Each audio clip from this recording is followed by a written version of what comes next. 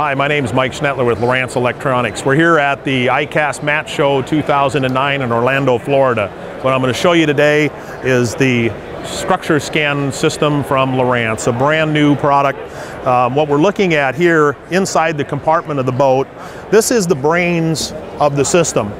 This is the box. The transducer plugs in the back, power cord here, and then it is etherneted out to multiple units using one transducer.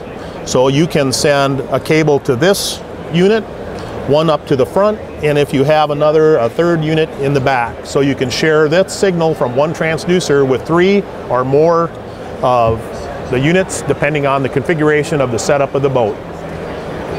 Over here, you'll see the actual function of the system. You have the capability the recording that we have that we have in the unit right now is just starting over here, hence the seam. But what you're looking at is a left-hand view of the bottom and a right-hand view of the bottom. Depending on what the range is, which here we're looking at from 0 to 80 feet on the left, 0 to 80 feet on the right, and we also have a down-looking crystal that will fill in the middle. Very simple to do. We'll hit the pages key. We'll go down to where it says structure. Hit enter. And now you can see we have a downward looking view. It's set up right now in two different colors.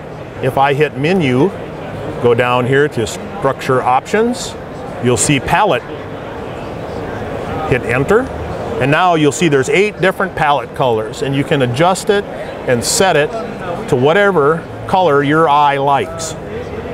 If you want to change the ranges, it's all push button. They're, they're, the learning curve on this system is incredibly simple. All you need to do to change your ranges, change frequencies of the transducers at the touch of a button on the screen. Less range, see on the screen how it's going to less range, more range. Then on the back of the unit was where the transducer is. There's three different configurations for mounting this transducer. This bracket in normal operation would be down like this. So for purposes of showing you how to mount, how the, what the transducer looks like, I'll swing this up. It is the size of a stick of butter cut in half. There's three elements, one shooting left, one right, one center. You can also mount this transducer with another bracket. If you have a step hull, you can mount it up on the step of the hull. If you have a jack plate on your boat, you can mount it on the bottom of the jack plate. And we also have a mount for the front trolling motor. So it gives you multiple options of placing your transducer for the performance. If you want optimum performance at speed, the best way to mount it is on this L bracket on the back of the boat.